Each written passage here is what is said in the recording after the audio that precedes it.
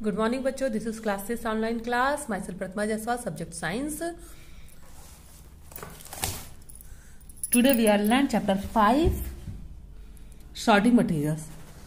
Sort means बच्चों छाटना या अलग अलग ग्रुप्स में डिवाइड करना तो शॉर्टिंग मटेरियल्स मतलब तत्वों को अलग अलग ग्रुप में छाटना या डिवाइड करना तो ये चैप्टर क्या है मटेरियल्स के ग्रुपिंग के बारे में है मतलब कि जो हमारे मटेरियल्स हैं उनको हम कैसे अलग अलग ग्रुप में रखेंगे इस बारे में ये हमारा चैप्टर है। तो लेट गेस्ट स्टार्टेड चैप्टर उसके पहले हम जो है डिस्कस कर ले कि हमने पिछले चैप्टर में क्या क्या पढ़ा था। जैसे कि पिछला चैप्टर हमारा वीविंग के ऊपर था फाइबर्स के ऊपर था। तो फोर्थ चैप्टर ये वाला जो फोर्थ चैप्टर था, इसकी एक्सरसाइज आपको पोस्ट कर दी गई है। सभी लोग अपना वर्क कंप्लीट कर लीजिएगा। आई होप आपका फोर्थ चैप्टर तक वर्क अब कंप्लीट हो जाएगा। अब आज से जो हम फिफ्थ चैप्टर स्टार्ट करेंगे तो चैप्टर के according look at the image given below and find the odd object तो बच्चों उसमें ये कह रहा है कि आप जो नीचे पिक्चर दिए गए, इनको देखिए और इसमें से जो ऑड ऑब्जेक्ट है, उनको आप बाहर कर दीजिए या इनको जो गिवन स्पेस है, उसमें आप लिख दीजिए। तो बच्चों, हम अब ऑड कैसे जानेंगे? तो ये सीधी सी बात है कि जब हम किसी वर्क को करते हैं तो उसमें यूज़ होने वाले ऑब्जेक्ट जो होते हैं वो उस वर्ग के होते हैं या उस ग्रुप के होते हैं। जैसे अगर हम खेलने जा रहे हो तो हमें खेलने के लिए ऑब्जेक्ट क्या क्या ज़रूरी होगा? जैसे कि हमें बैट बॉल चाहिए या फिर बैडमिंटन चाहिए आ, या फिर हमें फुटबॉल चाहिए। तो इस तरह से जो वो ये सारे जो ऑब्जेक्ट वो क्या है? खेलने वाले ऑब्जेक्ट के ग्रुप में डिफाइन किए जाएँगे।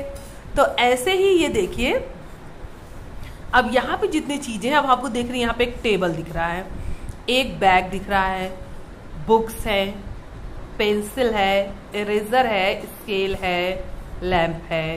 तो ये इतनी चीज़ें क्या है बच्चों, पढ़ने के काम आती है कि जब हम पढ़ाई करते हैं तो हमें रात में जब हम पढ़ते हैं तो हमें लैंप की ज़रूरत पड़ती है। दिन में नहीं पड़ती लेकिन रात में पड़ती है। हम पढ़ेंगे तो हमें बैग चाहिए, हमें कॉपीज चाहिए पेंसिल इरेजर इसके लिए सभी हमें पढ़ने के लिए चाहिए। तो ये सभी क्या है? एक ग्रुप के ऑब्जेक्ट है।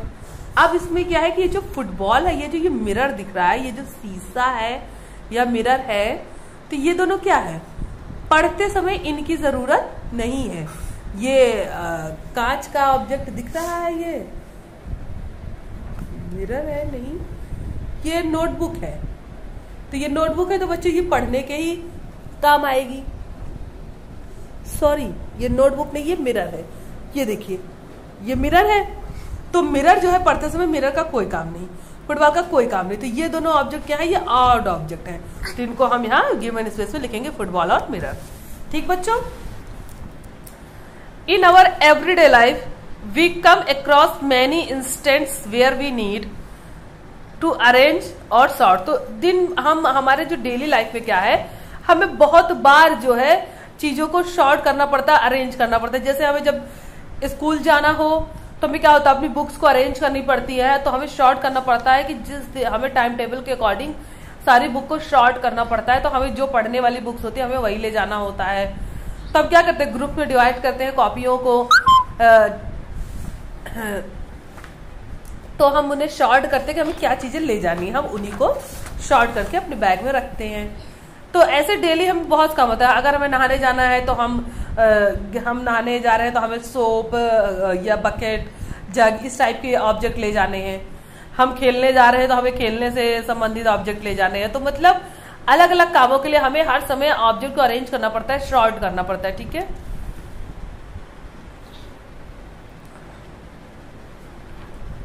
ये देखिए जैसे कि यहाँ बुक में आपको एग्जांपल दिया for example when you go to a library अगर आप लाइब्रेरी जा रहे हैं तो you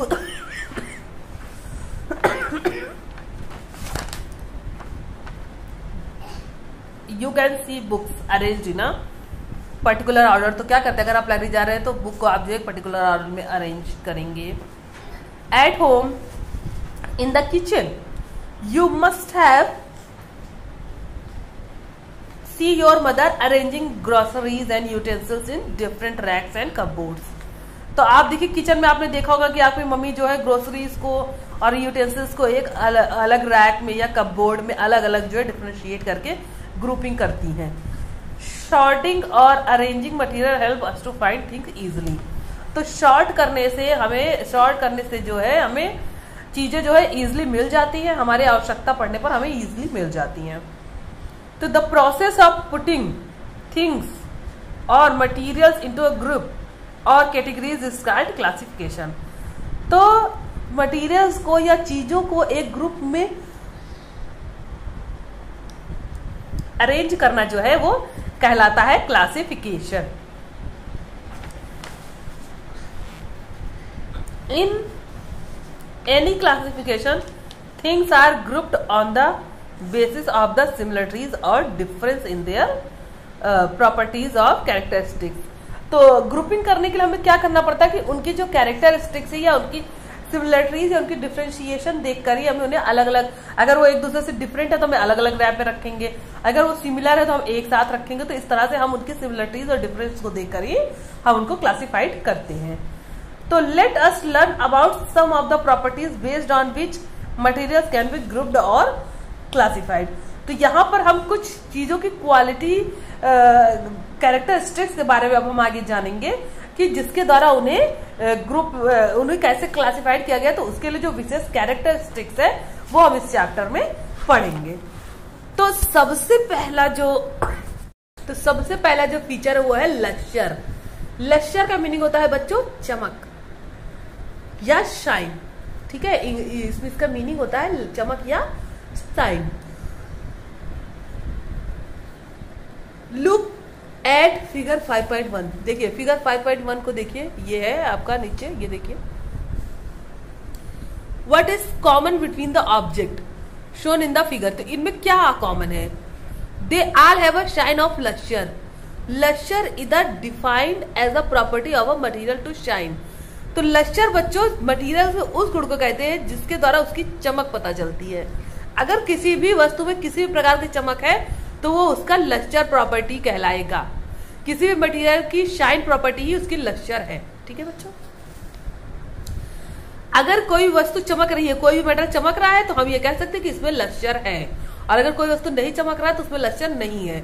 जैसे कि हम क्लॉथ खरीदते हैं, जैसे हमारा जो रेशम का क्लॉथ है या कॉटन का क्लॉथ है तो दोनों में ज़्यादा लक्सीरियस कौन सा होगा बच्चों?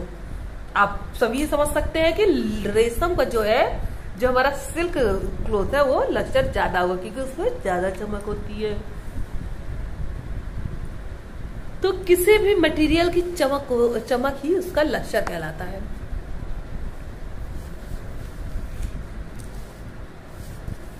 Materials that are shiny in appearance are known as lustrous materials वो मशी, वो मटीरियल जो दिखने में चमकदार होती है, उन्हें हम लश्चरियस मटीरियल कहते हैं। Example are metals like gold silver bronze and iron means सोना, चांदी, कांसा या लोहे का जो भी मटेरियल होता है that are dull in appearance तो जो भी मटेरियल होता है लोहा से, ये सभी क्या है? लचीरियस मटेरियल है, जिनमें चमकदार मटेरियल है। उसके अलावा डल इन अपियरेंस और lack shine are known as non लची non lustrous material और वो मटेरियल जिनमें जो अपियरेंस में डल होती है, जिनमें चमक नहीं होती है उन्हें हम क्या कहते हैं? Non lustrous material example paper हो गया रबर हो गया कार्डबोर्ड हो गया वुड हो गया सैंड हो गया वुल हो गया, ये सभी क्या है? नॉन लशीरियस मटीरियल इनमें क्या है? चमक नहीं. सब lustrous material can lose their shine and appear dull when they are expose to air और moisture for a long duration और कुछ लक्सीरियस मटेरियल जो होती है, जिन्हें हम अगर ओपन में रख दें तो वो क्या करती है? अपनी चमक खो देती है और डल हो जाती है। तो वो क्या, वो जब उनको ओपन रखा जाता है तो एयर से रिएक्ट करती है और मॉइस्चर कंटेंट करके क्या करती है? अपना लसीरियस खो देती है और वो डल हो जाती है, ठीक? अब एक्टिविटी फ़र्स्ट देखिए। ये तो हम कर सकते शायद to classify given material and lustrous and non lustrous तो जो भी मटेरियल दिया गया, उनको हम लसीरस और नॉन लसीरस में उनको क्लासीफाइड करना है बच्चों। तो देखिए, जैसे यहाँ पे दिया गया है स्टील स्पून तो स्टील स्पून तो बच्चों, चमकदार तो होगा, इसलिए वो लसीरियस में है। जैसे हमारे जो ऑब्जेक्ट दिए, या हमारा क्वाइंस तो क्वाइंस में भी चमक होगी, क्योंकि मेटल है। आपको एक बात ये बता दें कि आल मैटर है लश्चर जितने भी हमारी धातु है, वो सभी लश्चर उनमें होता है। तो क्वाइंस भी धातु बनती थी, ये भी लश्चर है। प्लास्टिक स्पून जो प्लास्टिक चम्मच होगी बच्चों, उसमें लक्षण नहीं होगा, क्योंकि वो लसीरियस नहीं होंगी। बॉटल ओपनर, जो बॉटल का ओपनर है बच्चों, वो मेटल का होगा। या प्लास्टिक का भी हो सकता है। तो ये भी अगर बॉटल का ओपनर जो है, उसमें प्लास्टिक कवर रहता है तो ये लसीरियस नहीं होगा। वुडन कप, लकड़ी का कप, ये भी लसीरियस नहीं होगा। प्लास्टिक रिंग, ये भी लसीरियस नहीं होगा। कार्डबोर्ड पीस, ये भी लसीरियस नहीं होगा। और एल्यूमिनियम शीट एल्यूमिनियम शीट बच्चों लसीरियस होगी, क्योंकि इसमें ये मेटल इसमें लस्टर चमक होगी। ठीक है? तो ये एक्टिविटी सभी लोग समझ में आ गया सबको? सभी लोग बुक में कर लेंगे।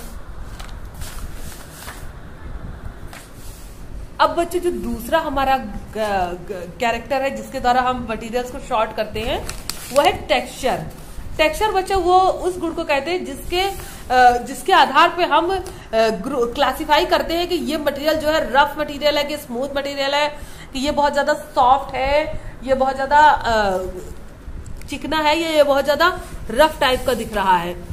तो texture of a material refers to how it feels when touched तो छूने पे मटेरियल कैसे छूने के बाद वो हमें कैसा दिखता है तो उस, वो हम छू कर हम उसका टेक्सचर जान पाते हैं, उसके स्वभाव को जान पाते हैं। Based on the texture there are two categories of materials तो टेक्सचर के आधार पर मटेरियल को दो भागों में बांटा गया, दो ग्रुप्स में बांटा गया। सबसे पहले रफ मटेरियल। जब मटेरियल को छूने पे हमें रफ टाइप का एहसास हो, रिंकल्ड टाइप का एहसास हो तो वो होता है हमारा रफ मटेरियल, जैसे कि स्टोन, पत्थर वुड बॉडी स्क्रबर और सैंड पेपर जिसमें जिसकी सरफेस स्मूथ ना हो, उबड़ खाबड़ हो तो उसे हम कहते हैं रफ मटेरियल। और दूसरा ग्रुप है स्मूथ मटेरियल। तो स्मूथ मटेरियल जब कोई चीज़ छूने में हमें बिल्कुल चिकनी स्मूथ सरफेस लगे, बिल्कुल प्लेन सरफेस लगे तो उसे हम कहते हैं स्मूथ मटेरियल जैसे like a piece of cloth cotton wool sponge soft toys and foam तो ये सब क्या है? छूने पर हमें इसकी जो स्किन है, वो बिल्कुल सतह इसकी एकदम साफ़ दिखती है, एक बराबर दिखती है, उबड़ खाबड़ नहीं दिखती है. तो ये सब क्या है? स्मूथ मटेरियल तो बच्चों, हम मटेरियल्स को टेक्सचर के आधार पर भी क्लासिफाइड करते हैं कि वो किस कैटेगरी में? रफ मटेरियल है या स्मूथ मटेरियल है?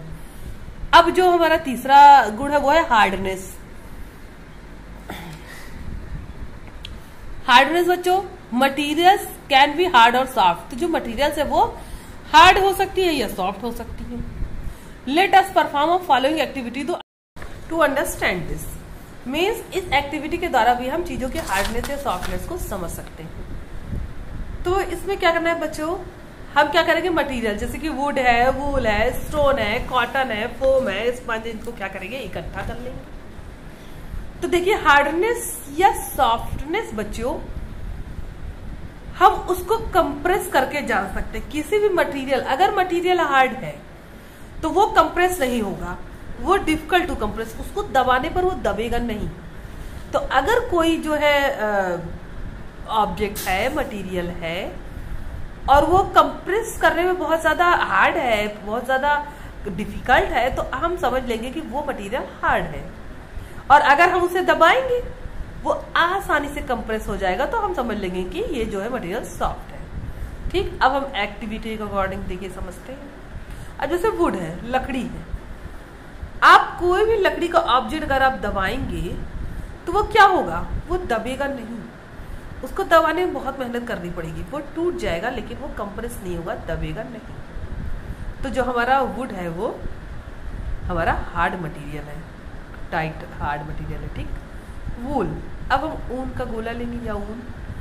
ऊन का गुच्छा अगर हम लेते हैं तो हम क्या करेंगे? उसको जब हम हाथ से लेकर प्रेस करेंगे कंप्रेस करेंगे तो वो क्या होगा? वो दब जाएगा, छोटा हो जाएगा, अपना शेप चेंज कर लेगा।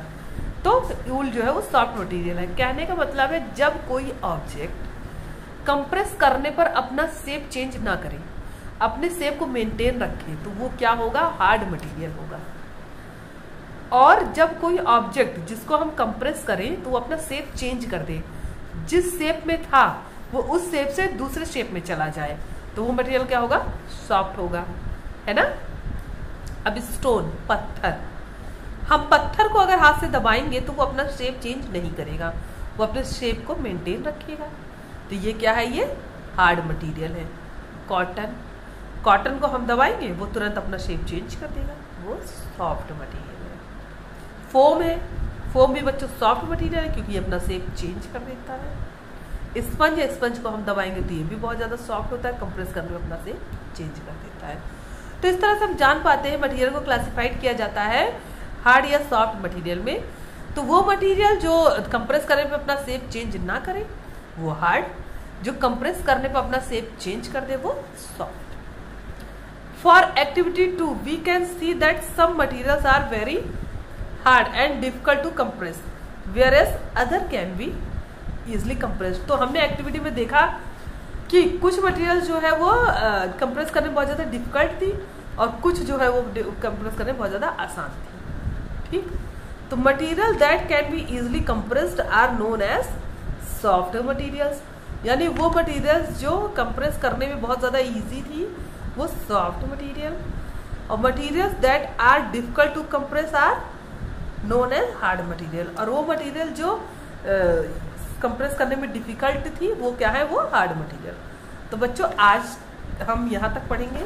नेक्स्ट वीडियो में उसके स्टेट के बारे में और उसकी अदर क्वालिटी के बारे में जानेंगे। सभी बच्चे, आज की वीडियो के साथ आपको, आप फोर्थ तक का कोर्स कंप्लीट कर चुके हैं। अब आपको फिफ्थ के इस वीडियो के साथ नोट्स नोट्स प्रोवाइड किया जाएगा तो आप नोट्स कर लेंगे। लेकिन सिक्स चैप्टर में फोर्थ चैप्टर के लॉन्ग क्वेश्चन अभी बाकी है। तो पहले लॉन्ग क्वेश्चन करेंगे, फिर इसके नोट्स करेंगे, ठीक है? तो सभी बच्चे, इस एक्टिविटी को, दोनों एक्टिविटी जो आपको दी गई है अभी, उसको पूरा कर लेंगे। और दोनों एक्टिविटी आप जो है बुक में भर लेंगे, ठीक? तो good luck for your homework ये दोनों एक्टिविटी ही आपको कर लेनी है, ठीक है बच्चों? तो आप अपना होमवर्क पूरा रखिए और जो आपको सिक्स के क्वेश्चन आंसर और स्टॉप एक्सरसाइज दिए गए, आप वो वर्क को पूरा करिए ओके थैंक यू